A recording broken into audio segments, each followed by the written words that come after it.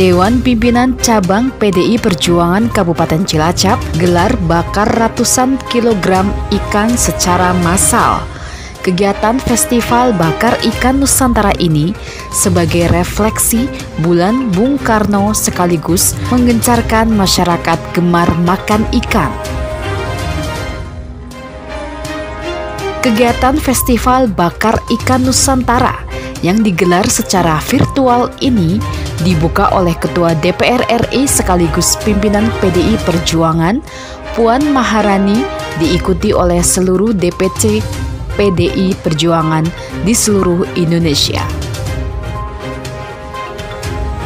Untuk Festival Bakar Ikan Nusantara yang dilaksanakan oleh DPC PDI Perjuangan Kabupaten Cilacap ini berlangsung secara massal di halaman kantor DPC PDI Perjuangan Sabtu 25 Juni 2022.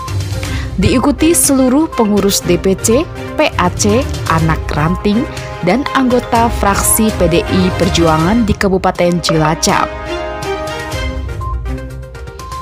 Wakil Ketua DPC PDI Perjuangan Cilacap di bidang seni budaya, Nike Yunita, mengatakan sebanyak 300 kg ikan dibakar secara bersamaan dalam kegiatan Festival Bakar Ikan Nusantara secara nasional.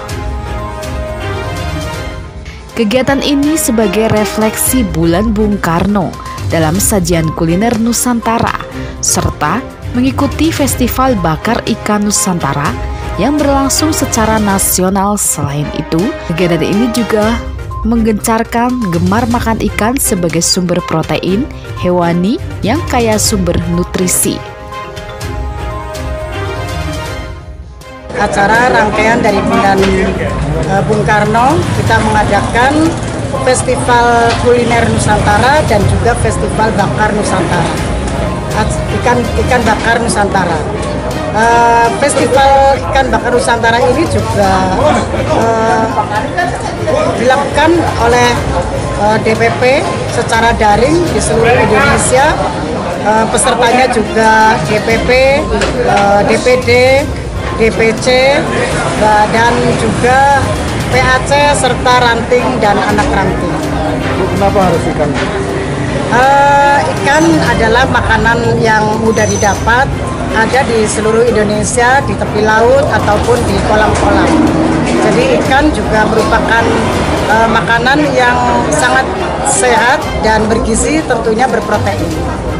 Dengan diadakannya kegiatan ini uh, masyarakat bisa terbantu terbantu khususnya nelayan dan para peternak ikan untuk uh, bisa lebih uh, memaksimalkan lagi dalam uh, apa namanya produksi ikannya terus uh, untuk konsumsi masyarakat juga uh, membiasakan masyarakat untuk terbiasa makan ikan.